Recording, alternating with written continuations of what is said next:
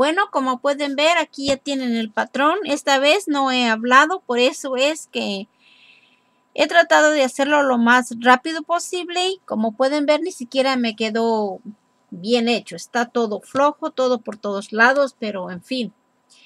Ya está terminado el patrón. Espero que les guste a ustedes tanto como a mí.